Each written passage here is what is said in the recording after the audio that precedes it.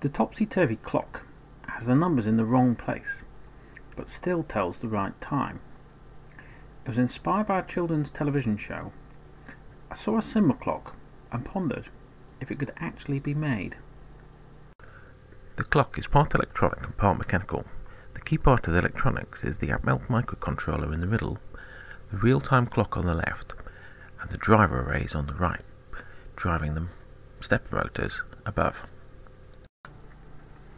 The mechanics are relatively simple, with plastic gears on the motors driving two concentric shafts, which then connect to the hands on the front of the face.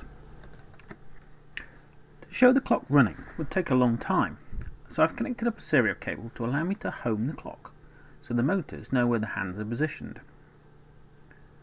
This is done with the aid of two plastic discs and some slotted optosensors.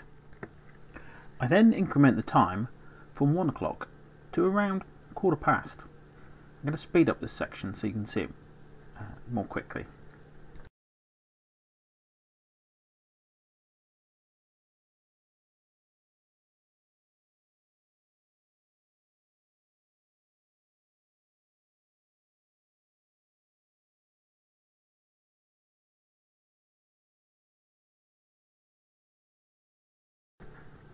Here's a view of the back of the clock whilst the motors are homing. You can just about make out the slotted uh, discs there at the top.